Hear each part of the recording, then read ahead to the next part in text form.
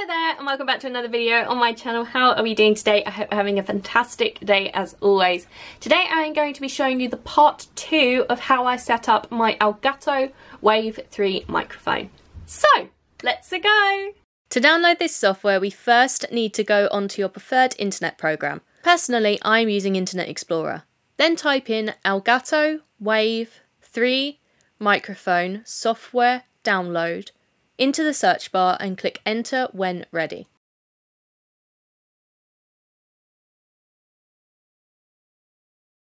Click on the Downloads Elgato link or a link that takes you to the Downloads page on Elgato's website. Once on this page, you are given two drop-down menus. On the Select Your Product, click Wave 3 under the Audio submenu, and then click the second drop-down menu and select the type of computer you are going to be using to run this program. Now click the blue button beneath the drop-down menus. A pop-up message will show saying thanks for downloading and in the bottom left corner of your browser a download bar will show up.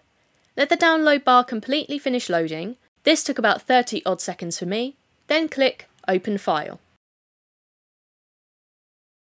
A pop-up will open in the middle of your computer screen called Elgato Wave Link Setup Wizard. Click Next. Read the terms and conditions.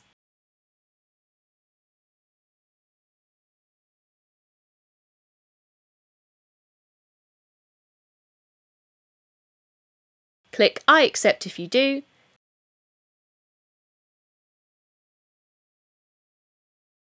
And again, click Next. For this part, make sure your microphone is unplugged or disconnected from your PC or laptop. After you have done this, click Next. Choose where you want the program to be installed, and again click Next.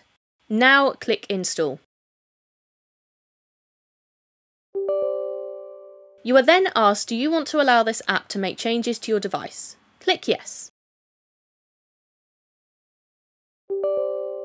Another message will pop up saying again, do you want to allow this app to make changes to your device, but as a driver setup? And again, click yes. A pop-up will show the progress of the installation. This is in real time. When done, it will say completed the Elgato Wave Link Setup Wizard. Click Finish. A separate window will open behind it. This menu sets up the program. Now you need to connect or plug in your microphone. A shortcut will be installed to your desktop and the program is now ready to use. And that is it. I hope you have enjoyed this video. Don't forget to check out all the links in the description as I love them all and wouldn't put them there if I didn't. Let me know in the comments of anything else you'd like to see me do on this channel, anything else you'd like to see me review on this channel, and finally don't forget to like, leave a nice comment and subscribe if you want to see more. And I will see you next time. Bye!